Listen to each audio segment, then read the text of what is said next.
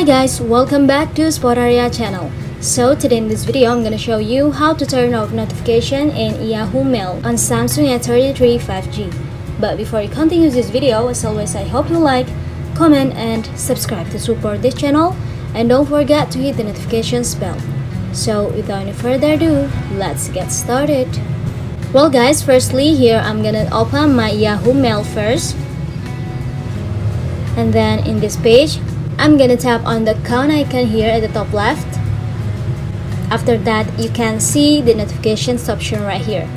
Simply, you just have to go ahead.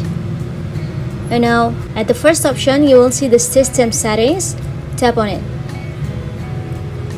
If you want to turn off your notifications, you just have to switch the toggle next to show notifications, switch it to the left like this. Sorry. And yeah, when the toggle is already in the left side, which is successful. So guys, that's it. I think it's enough. Thanks for watching this video. I hope this video will help you. Don't forget to leave your comment in the column below. I'll see you soon in the next one and good luck!